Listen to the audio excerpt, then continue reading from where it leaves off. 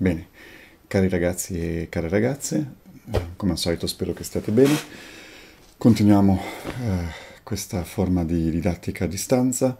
Tra pochi minuti ci vediamo in, con la quintacca in videoconferenza, lo sportello help. Ho fatto sportello help nei giorni scorsi con la quarta N e terza C e insomma vi sto vedendo bene. Continuo a caricare video come vedete sul canale e sulla pagina dell'esilio Mm, video che spero stiate guardando, seguendo, so che lo state facendo, eh, pur non essendoci alcun obbligo, ok? Eh, spero vivamente che ognuno e ognuna di voi stia uh, seguendo quello che faccio per interesse e non per obbligo, perché non c'è, non c'è nessun obbligo, ok? Ma sono sicuro che lo state facendo, viste le tante domande, mail, messaggi e quant'altro mi stanno arrivando, ok?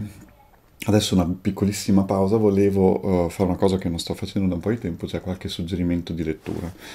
Eh, parto dalla eh, terza C, stiamo facendo la eh, termodinamica, abbiamo visto un approccio un po' diverso da quello del vostro libro, partiti da un'idea statistica, la temperatura come eh, signature, come indice di un'energia cinetica di piccoli costituenti microscopici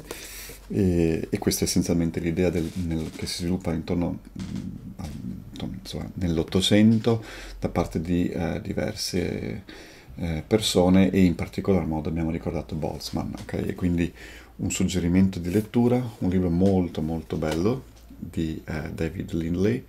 eh, Gli atomi di Boltzmann della Boringhieri. Eh, non so se sia facile procurarselo, un suggerimento eh, prima di cercarlo eventualmente su grandi distributori online, eh, alcune librerie qua da noi eh, stanno diciamo, facendo servizi di consegna a domicilio, sono autorizzate a, a vendere libri con eh, la consegna a domicilio. Ecco, potrebbe essere un bel gesto provare prima a procurarsi libri da loro, va bene? Quindi ripeto, eh, Gli atomi di Boltzmann di David Lindley Boringhieri, un libro bellissimo sulla nascita delle idee della meccanica statistica e del concetto di eh, fisica atomica legate alla termodinamica, quindi quello che stiamo proprio facendo in questo momento. Per la quarta N un approccio un po' diverso all'analisi, abbiamo iniziato in questi giorni l'analisi delle funzioni reali e un approccio un po' diverso ma complementare a quello che stiamo facendo noi lo trovate in questo libro, che è un libro bellissimo, la mia copia è rovinata a causa dell'uso, le matematiche, bellissimo anche questo plurale, non la matematica ma le matematiche, sono tre autori russi molto importanti, Alexandrov, Kolmogorov e Lavrentev, e, mm, e, questo volume che è l'unico tradotto in italiano, purtroppo ce ne sono anche altri in inglese, è su analisi e algebra e geometria analitica, quindi c'è un'inversione nella sequenza che noi abbiamo svolto, che diciamo di solito nella scuola italiana si svolge, quindi l'analisi come ultimo punto di arrivo, eh, in questo libro c'è un approccio completamente diverso, l'analisi come punto di partenza, è una bellissima lettura che può essere complementare a quello che stiamo facendo insieme. Infine, quinta H, stiamo guardando la dinamica relativistica, ho iniziato ieri sera, non so se avete visto, un argomento un po' così, un po' avanzato, un po' complesso, ma eh, molto interessante